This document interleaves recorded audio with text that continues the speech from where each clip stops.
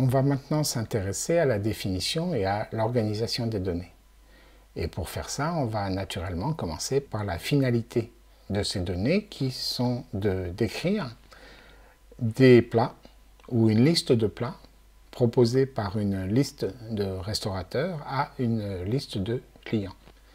Et on aura aussi à gérer peut-être des listes de commandes de ces clients à ces restaurateurs pour certains plats.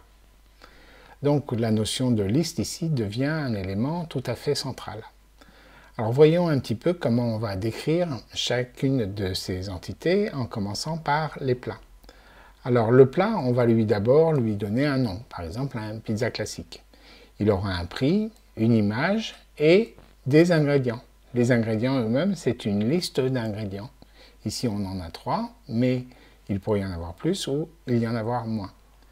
Ce plat, il appartient à une liste de plats. On avait la pizza classique, et bien on a aussi par exemple la pizza super veggie, qui a les mêmes attributs, plat, prix, image, ingrédients, et une liste d'ingrédients qui ici est de longueur 7. Ces plats, ils sont proposés par un restaurateur, par exemple ici Domino's Pizza. On a donc le nom du restaurateur, sa catégorie ou son type, pizzeria, japonais, etc. Il a une adresse, on pourrait rajouter son numéro de téléphone ou son email. Il a un logo qui sera affiché sur la carte et il propose une liste de plats comme on l'a vu tout à l'heure. Et ce restaurateur, eh bien, il appartient à une liste de restaurateurs qui seront affichés à la demande de l'utilisateur. Alors ce qu'on peut remarquer ici, c'est qu'on a beaucoup de listes. On a une liste d'attributs pour chacune des entités qu'on manipule la liste des attributs d'un restaurateur, c'est le nom, le type, l'adresse, le logo et la liste des plats. Et dans un cas, dans un plat, on aura également le nom du plat, le prix et les ingrédients. Et on voit ici qu'on a deux types de listes. On a des listes qui sont définies par une clé et une valeur correspondante. Par exemple, le prix 6,99. Mais on a aussi des listes comme sauce tomate, mozzarella, jambon. Donc on verra plus tard qu'on a deux types de listes. On aura des listes simples et des listes de type dictionnaire. On va s'intéresser maintenant plus spécifiquement au format textuel de l'information et à son échange entre une application comme une application App Inventor et des serveurs de données. Le format qui est utilisé pour échanger ces données, c'est le format JSON. Et App Inventor propose un bloc pour passer du format textuel extérieur de cette information au format interne, c'est-à-dire aux variables, avec le bloc qui est le bloc décodé JSON text qui se trouve dans le composant web. JSON ou JavaScript Object Notation est un format d'échange textuel indépendant du langage de programmation que l'on utilise. Il est très utilisé par les serveurs pour échanger des données avec les applications, dont celles que l'on va réaliser. JSON comprend deux structures principales, les paires clés-valeurs qui correspondent à nos dictionnaires et les listes ordonnées qui correspondent à nos listes simples.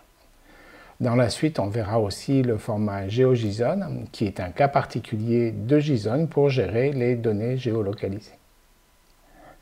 Alors on va reprendre notre exemple de, restaurants qui ont chacun une liste de plats. Voilà une première version de la description textuelle. On va mettre entre cotes les informations qui sont des chaînes de caractères. Ces chaînes de caractères, ça peut être le nom des propriétés ou la valeur des propriétés, et on les sépare par deux points. Donc ici, on retrouve une clé avec la valeur. Quand la valeur est une, chaîne de caractères, on met des cotes. Quand c'est un nombre, comme ici le prix, on ne met pas de cote. Et là, je l'ai indiqué en rouge, mais la couleur ici est uniquement indicative.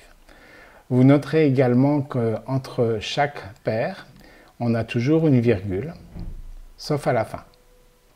On va caractériser les ensembles clés-valeurs avec une accolade ouvrante. Donc ici, j'ai un ensemble de clés valeurs, le nom, le type, l'adresse, l'image et la liste des plats. Donc je commence par une accolade ouvrante et je finis par une accolade fermante. J'ai d'autres objets dans l'exemple indiqué. chaque plat est lui-même un objet, donc chaque plat va commencer par une accolade ouvrante et va se terminer par une accolade fermante. Notez bien que comme j'ai deux éléments ici dans la liste, eh bien j'utilise aussi une virgule comme séparateur. Vous voyez, la virgule ici sépare les deux éléments, comme les virgules ici séparent les couples clés-valeurs. Et puis, on va enfin avoir les tableaux. Eh bien, les tableaux, j'en ai de deux types. J'ai les plats ici. J'ai une liste de plats avec le premier plat et le second. Donc, j'ouvre cette liste avec un crochet ouvrant et je ferme cette liste avec un crochet fermant.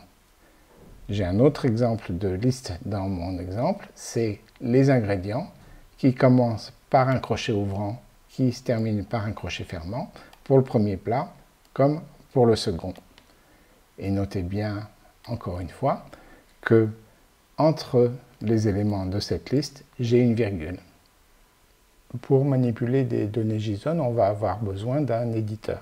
Parce que s'il y a la moindre erreur dans le format de données, et on en fait tout le temps des erreurs, eh bien, le logiciel ou notre application ne va pas marcher. Donc, ce que je vous propose pour euh, éditer des données JSON, c'est le logiciel qui est indiqué ici, JSON Editor Online, et je vais utiliser cet éditeur JSON avec l'exemple de test qui est indiqué à l'adresse en dessous. Donc, je passe à, cet, éditeur, JSON Editor Online, et je vais l'initialiser avec l'URL que j'ai indiqué tout à l'heure, CTRL V, voilà, et je l'ouvre. Et je vois qu'ici, il m'a recopié le restaurant avec la liste des plats, mais j'ai une erreur. Et il me signale une erreur avec une croix rouge en ligne 5. Il me dit Unexpected string in JSON à position 120. Alors il faut passer un petit peu de temps pour euh, identifier la raison de cette erreur. En l'occurrence, j'ai oublié une virgule entre la paire correspondant à la propriété précédente et le plat et il me signifie une deuxième erreur ici. Alors qu'est-ce qui se passe avant, avant? Eh bien, je vois que ma liste des ingrédients commence bien par un crochet ouvrant, mais j'ai oublié le crochet fermant. Donc il faut que je ferme. Voilà.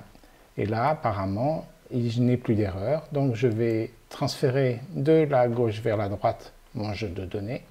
Et je vois qu'ici, j'ai toute l'information que je voulais avec la liste des ingrédients. Et ce que je peux faire aussi, c'est reconvertir vers la gauche et éventuellement enregistrer la version corrigée ou la version vérifiée dans mon fichier.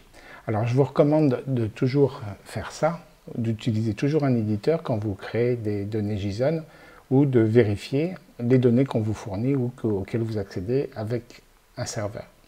Alors, vous pouvez aussi travailler directement ici, par exemple changer le nom ou rajouter des éléments dans le fichier JSON. Voilà, c'est très important de faire ces vérifications parce que sinon vos logiciels ne marcheront pas très bien.